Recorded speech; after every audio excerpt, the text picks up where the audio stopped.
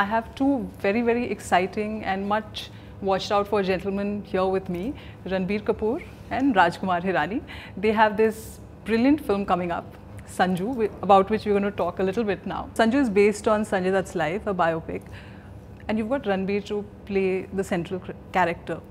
What was it about Ranbir that made you feel that he's going to be a good fit? When the script got done, obviously the first thing is you start thinking about who. Mm -hmm. But in this case, actually, somehow I didn't think of anyone and it was straight Ranbir. Ranbir. And the reason I'll tell you was uh, when you do casting, you need a good actor. Right. So there were no doubts about Ranbir being a fantastic actor. Yes. Uh, if you look at Sanju of the 80s, mm -hmm. if you look from Rocky, when 81, when that film came, and you look at Ranbir in the earlier days, mm -hmm. when his first film came, right. their physicality is very similar. Okay. Both were lean right. and, you know, nice chikna looking faces. and uh, they have similar heights. In fact, Ranbir is slightly taller. taller? Yeah, taller okay. than Sanju. These things I'm talking about are physicalities. Right. Then you have to, when you play a character, you have to understand that world, you have to feel that character. So both come from film families. Uh, Ranbir's father, Sanju's father, both have been actors. Mm -hmm. They've grown up in some kind of similar environment. And Ranbir knew Sanju for a long time used to go and work in his gym. So he was already exposed to that life. Right. But all this is, I'm saying, secondary. First, primarily, I thought, yes, he fits that role. He'll act it out well. And then uh, I remember sending him a message. Uh, because we usually decide that once you have some kind of basic dhacha, then only start thinking of an actor. Right. Otherwise, if you start thinking of an actor right from the point you're scripting, right. then you might see, okay, these are the strengths, of that actor, these are the weaknesses, then your script starts changing out of that. So we've already decided let's script the film first, then think of an actor. So the moment we thought of Ranbir, I messaged him saying there's a script and uh, you know let's meet up and chat. And Ranbir's immediate message was, I hope it is not the Sanjay Dutt biopic. because he was aware that I was working on it. Ranbir, I mean, I can understand why because you are like this, you know, sort of sudrud bacha like who's always like sort of doing the right things and you know so this would be like a no, difficult to honest, protagonist to pull off? No, beyond me thinking if I could pull it off, yes, that was a major reason why I thought it was an impossible feat. That you know, Sanjay Dutt's um, demeanor, his personality is very larger than life. Yes. Uh, you know, the life he's lived is so controversial. I didn't know how much he will open up his life to to Raju sir. What kind of film Raju sir is going to make as a biopic on Sanjay Dutt. I, I had no idea. I just heard that there was a biopic in the making. Um, and uh, also a big doubt that this actor is still so relevant. He's still acting in films. He's got such a big fan following. Uh, how do you already make a biopic on an existing actor who's still working in films? Right. Uh, so all these doubts and all these fears, you know, when Rajkumar Hirani messages you, uh, you want to do Rajkumar Hirani films irrespective of what he's offering you. Correct. But when it was told to me that और biopic on Sanjay Dutt I like यार एक तो भगवान ने दिया है और कुछ एक चैलेंज भी दिया है कि ये मैं कैसे कर पाऊँगा but I think once I read the script once me and Raju sir discussed all my doubts all my fears kind of went away because the material was so rich in content you know his life has been just quite amazing you know it's like he is lived his life all these years just for his for him to make a film on on his life you know to वो बनी बनाई screenplay मिल गई। So I think it started off with like just believing You know, like I can do it. And I think once that belief set in, then the ball just got rolling and we all were really inspired you know the entire cast and crew uh, you know our team makeup hair uh, dress design all the assistant directors uh, we had a good six to eight months of kind of you know just prepping on getting the look right the mannerisms right uh, you know Raju sir welcomed all of us also to be uh, to participate in uh, in the story of the film what we thought he was very welcoming in in in criticism and all of that so all of this just became such a happy family that the inspiration just kind of took us forward. What is the one thing that's common between uh, Sanjay Dutt and you? Well, nothing. You know, I haven't even lived like a percentage of what life he has he's had. But I think one thing that I really relate to is the father-son dynamic. You know, I also have a certain fear and a certain uh, um, uh, respect, regard for my dad. Uh, and I think I, I, I, found that that dynamic of that relationship, I related a lot to it. In our country, mm -hmm uh, the father-son dynamic is a little complex and complicated. Right. You know, it's not like the mother-son dynamic or the father-daughter dynamic. And I think that's been really beautifully explored in this film. So that's that's one um, area which I really related to. What was the impression that you had of uh, Raju as a director? Because he's such a legend and people know so much about him. And then you actually get to work with him. What is it, you know, what is the match like? Was, well, was he the same or was he, was he beyond your expectations? It was beyond, you know, and I think uh, uh, of course, apart from the fact that he is the greatest director living in in, in, ask me like, in if the you ask world him right idea is now. always अलग से पूछना चाहिए अलग से पूछा है तो But- अच्छी बात है बोलेगा But but you know what what, what what I really discovered about Raju sir is that he doesn't like uh, a he's he's the most humble person you meet. He's not somebody who's rubbing off his uh, success in your faces or what he's done, and not to himself also. You know, st- uh, every day I could see somebody who is uh, still so insecure about his craft, about what he's saying, and I think that's a really admirable quality because that's where you really pursue greatness. You know, it's not about putting your legs up and saying, you know, I've achieved everything. There's so much more to do. There's so much uh, more to give. And I think the simple philosophy that I've really not seen in many other directors is that audience is king. You know, entertainment. You know what value the audience has while watching a film, and to kind of be selfless and do things for an audience, for a larger audience, uh, is quite amazing and simple. You know, there is nothing complex, nothing complicated. Yeah. Everything is, of course, there's, there's a lot of. It's a complicated process to bring Right. the simplicity, Right. but to attain simplicity is very hard, and I think he does that brilliantly. Raju, when you're doing a biopic and um, and then you sign up with um, again Ranbir Kapoor, who is again such a fabulous actor and uh, comes with a legacy and also like a huge following and interest. What are the challenges when you sort of marry the two? You know, it's the biopic of a very famous star, starring someone who's another very famous star. How do you sort of uh, bridge the gap between the real and real? See, in this case, since it's a biopic of an actor whose face is known, it's there in your face. Everybody in this country knows how Sanjay Dutt looks. Right. Uh, the first challenge was how Ranbir will look like him, and uh, which was I think Ranbir's immediate fear. Ki, yaar, how will we look? And I remember telling him, let's give it a shot. Let's start really early in the game and spend a few months to see how we can get that look right. The idea was not to match him 100%, Right. but just get some semblance that you see the film, it is still Ranbir, but there's some sem- semblance of some alikeness in not only in look, in performance, in this thing. So we did tons of tests, and every time you'd be sitting in this room, spending like six hours, seven hours to try some prosthetic test, uh, and come out, and immediately we'll know that it's not working. Right. So that whole day's work is gone. Then you wait for some other pieces to come. Then we'd sit for hours together to figure out what went wrong, whether it was the hair, whether it was the dress, whether what was it. Right. And finally, one day I remember it. I was I remember I was standing there and Ranbir came out from here and and I saw from a distance. I said, ये मिल गया।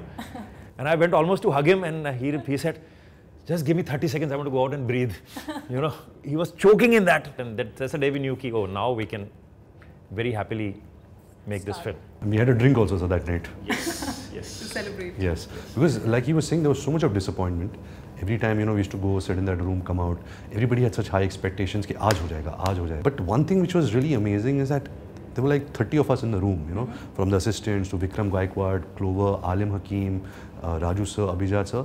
Everybody wanted to get it bang on. You know, Right. nobody was ready to accept mediocrity. You know, they all knew, okay, we have this opportunity with this film.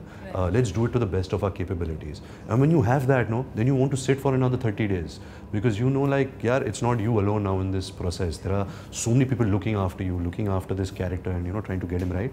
And I think that was that was a good source of inspiration to keep going on. So, you know, one of the things that um, I remember Mr. Naseeruddin Shah when uh, Milkha had released, and he had commented that it's uh, the transformation of Farhan into that character is brilliant, but that's just half the job done because it's not just about physically looking the part.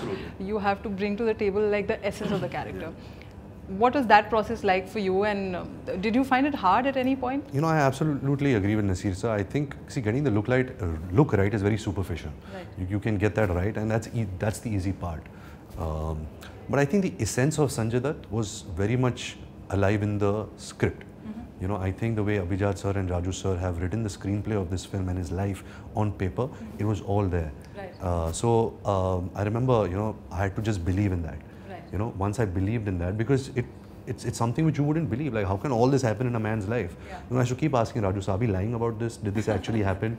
You know, are you sure? Masala dala hai. ऐसा कुछ नहीं डाला है nothing is exaggerated Right. you know everything he also made sure by speaking to his friends and family police people from the law you know just to get a right representation of someone's life otherwise i don't think it would interest him as a filmmaker to make if it was a lie uh, so once that belief set in कि यार this is the honest truth it was all there you know it was like uh, it was i was turned on you know, by the material. When you have a such a rich source material to start from, and we obviously see the different phases of his life. After this movie, what is it that you took away from it? Like, what to you, what sort of a person did you sum up Mr. Sanjay Dutt to be? You know, after a film gets over, no, what you take from like the the character is something subconscious which you realize after a few years later. Uh, what I've really taken from this movie is the relationships, you know, that you make on on this film. Uh, you know, with with Raju sir, with the crew, with the cast, and, and and what a happy experience it's been. You know, and I think that that's something which is which matters the most. Yeah, our, all our um, our life's purpose is making a movie, and you know we've done that with a lot of honesty, a lot of heart. But what I really take is is the relationships I've made in this movie, and you know that's something which is more special than anything. Raju, what about you? I mean, like obviously you know Sanjay, you worked with him in two films, and then you sat with him through this whole sort of narration of his life. What did you come away with? Like, you know, did you feel that, uh, you know, what sort of an impression did you come away with? Because like, I didn't, I know this man, but I didn't really know him, or there's this side to him which I didn't know of. Anything like that? That happened every day because uh, uh, when first uh, uh, Sanju's wife Manyata told me to, why don't you make a film on Sanju's life? And my immediate reaction was, that's not my territory. You know, I, I don't know. In my head, I thought it's, a, it's going to be a dark film. It's going to be about underworld drugs, and I said that's not my world at all. But as luck would have it, Sanju was out those days on parole, and uh, I just went to meet him. And in that first day of meeting, I was just very curious to figure out ki, how is he living in jail? What does it mean? What time he gets up? What does he do through the day? And, and he told me crazy stories of how his job is to make paper bags, and for every paper bag he makes, he gets 25 paisa. Yeah. So it was, you know, this is a guy you worked with, and to even to think that he's sitting there and doing this and all those kind of things. So whole day, actually, whole evening, actually heard those stories. I came back home. Next day again, he called me. So what are you doing? Hmm. Come. Again went to meet him, and I realized he was alone. He just was venting out, and he was opening up, and I could feel he's talking the truth. But the stories that were coming out were so unbelievable that I called up Abhijat. I said, "You come." He was in Ahmedabad. I said, "You come here. I'm hearing these crazy stories. Though I've worked with him, I have not known these things." We ended up sitting for 25 days, literally from five in the evening till two, three in the morning, with him, and I have like hours, 200 hours of recording and some 750 pages of transcript, which the ADs took like months to this thing. And I could see them, they were in the headphones and they be laughing, they would be crying while typing it out. But so many stories were so unbelievable that we had to cross check. My first thing was that we have to cross check this, Right. whether this happened. Yeah. And then also the legal side, we had to be very sure that what we are going to say. Like, so I met a lot of cops, I met lawyers, uh, his family members, his friend in US. And after that, and we, we literally asked Abhijat, he'll tell you, we used to feel like dwarfs when he used to walk out of his house. One day he just spoke about his drinking. He told us a single malt story. He said he had, his friend in New York took him to some very exclusive single malt club. And uh, where they, you know, where they will pour a one single peg for you and ask you to sip it and savor it. And, you know, all the connoisseurs of single malts will come and sit there. Sanju went there to drink. Right. So they sat there and uh, this waiter came and said, okay, sir, what would you like? So he said, okay, so and so, this thing. Right. And before he was leaving, he says, get us a bottle only, yeah. so that guy looked at him and he says, sir, we don't serve by the bottle. We serve by the this thing. So he said, okay, then get me 13 pegs. and as he started, the waiter looked at him, didn't know what to do. As he was walking, he said, and also repeated very quickly. so these are crazy stories we're hearing. So that day when he just forgot drinking, we came out of his house and feeling like dwarfs and it was, I think, 1.30 in the night and I said, Abhijat, we need a drink here. Again, uh, you know, I mean, um, when you have a biopic, there are so many layers to it because there's an obvious story, and then um, you know people have their interpretations, and then people's expectations of what it should be, and you know the subject's expectations, the families involved, because you know it's also speaking of people in the industry and uh, a life of a film star. Uh, how did you sort of navigate those uh, things, if at all? Uh, see, what happens in a biopic, actually, you pick up any biopic, if you're trying to show the life of a man, which is 50 years, you have to compress time, space, and you really can't say everything. So, like for me, Gandhi is the best biopic ever made Right. in my eyes, and I love that film. So, even if you look there, you say some part of that life, you talk about some part is left out, and like his Gandhiji's relationship with his son, his family is left out in that. It's only the freedom struggle, which was another film was made on that. So here also we've picked up what we think is necessary uh, which is like probably the, which is the drug story and the gun story. And also sometimes you have to compress characters. So like one episode, one interesting thing has happened with one character, second has happened with another, third has happened with another. So, but you can't create that many characters. It'll become a very confusing story that this one is doing this thing. So then you take all those anecdotes and kind of put it in one character and then change the name of that character. So we've tried to steer clear of all the things. We've gotten the best things in. You'll see some uh, names which are fictional names. Right. But uh, the most of the anecdotes which you'll see in the film are absolutely inspired from all true events in his life. Okay. Ranveer, in this particular, uh, you've played a rock star, and this is quite the rock and roll life, if one may call it so. When you were like acting and being a part of this movie, what was that process like for you? It was amazing uh, to start with because um, it's very rare in my understanding and especially in my career so far that you get inspired by every film you do. Inspiration is a bit of a luxury and when inspiration hits you then your work becomes easy. You know, then you want to do, uh, everything comes naturally. You don't have to push yourself doing it. So it was that, you know, it was this film and the script with the director, everything just inspired me. You know, I just wanted to do it to the best of my capability. I understood the value of it. I understood uh, what an opportunity it is for me as an actor in this phase in my career. And uh, inspiration just led to everything. Did you have a method which was any different from any of the earlier films that you worked on? I think every film comes with its own method. Right. You know, I think firstly to marry the director's mind, to understand the text, to really deeply understand it in a way that uh, you there is no misunderstanding and you know you have represented it in another way. Like I said, you know, superficial things aside, Right. you know, I mean, I also what I do is I use one perfume for every character. So you know, I went to Sanju sir's house and I got his perfume what he wears, Okay. which all the assistants used to hate because it was a very strong oud smell. Uh, but I think when I like get into the character, you know, the shoes, uh, the costume, and then I put that perfume, my sense memory is very strong. So you know, I kind of pseudo intellectually, you know, I feel like okay, this this is like the character. There was one area where the voice was concerned. You know, uh, I was very unsure about that because uh, should we talk like Sanjay Dutt? So me and Raju sir had used to have a lot of discussions. You know, how much of the mannerism should I keep? He said, no, cut this out, use this, use a little bit nuance here.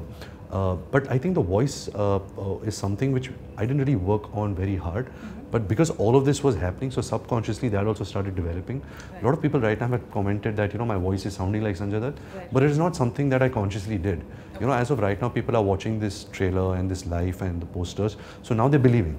You know, right. now we've, we've got them. So yeah. they're believing that acha, iska awaaz bhi aisa, is, everything is Sanjay Dutt. Uh, so I think I'm very lucky in that aspect but uh, it's not something that I that I consciously worked on the voice of the character. The way that he walks, you've got that quite a bit. Like yeah, I think few in- things were like very important. You know, his body, his walk, his hairstyles, his his sense of clothing. You know, certain nuances, how he looks at you. Uh, you know, how he nods his head. Uh, and these things, uh, you, you know, it's your responsibility. Are this you cannot take away because audience wants at least this. You know, even if you don't like become him 100%, but these things you have to keep reminding him. So it, subconsciously they keep thinking, "Ha, this is Sanjay Dutt, this is Sanjay Dutt." And walk was one of the most important things. Since the time I was born, I've been hearing about Sanjay Dutt's walk. You know, when he walks into a room, it's like a rock star's enter the room. You know, Right. there is a certain swagger about himself, his gait, his you know his long hair, that earring he used to wear with a cross. Yeah. Uh, you know, his sunglasses. Um, I mean, to a point where even like Alim was also like manicuring my chest hair to seem like his chest hair because you know everything was so iconic about Sanjay Dutt. Right. Uh, so we were very respectful towards every little detail about Sanjay Dutt in that aspect. Tattoos, yes. You know the old Sanjay Dutt bringing out the Manyata's name, Manyata Bhabhi, and different his father's name, Sunil, that's the name out here, and and Nargis his name in Urdu. Uh, so everything was done to a lot of detailing. You've also spent a lot of time with him, like growing up and uh, things like that. So did you mine into that? I think what really helped is in that aspect is not the information but the love I feel for him. You know, so that kind of somewhere comes into uh, playing someone. So you love that person so much that you want to do your best. Uh, but the Sanjay that I knew was very different from what's in the film. You know, uh, you know, I saw him as probably how you saw him. I, of course, like a family friend, he used to pick me up in the middle of the night in his Ferrari for drives. I used to work out in his gym, and I remember that time I was uh, working with uh, Mr. Basu on Barfi. Right. And he used to come in the gym and say, kaisi picture kar hai Barfi?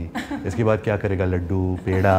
You know, he used to really pull my leg. He always wanted me to play that larger than life hero, slow motion walk, action, you know. So he always saw me like that, you know. Right. So he always treated me as a younger brother. Just yesterday, he's bought a cycle for me, uh, an electronic cycle, and he sent me pictures saying that, which color do you like? I got your cycle, I'm sending it tomorrow. So constantly, you know, trying to, you know, uh, really be part of my life, you know, really interested in the work I do and, and, and give encouragement, give constructive criticism. So I've, I've shared a wonderful relationship with him and finally now to be him, I understand the man deeper and my respect and admiration for him has only increased. Wonderful. I think um, we're all really looking forward to the film and um, we're going to like sort of have another conversation after watching the film because I'm sure it's going to be a brilliant film and we're going to love it and thank you both of you. Thank you, for your time and of course for the movie that we're going to watch soon. Thank you, Priyanka. Thank you.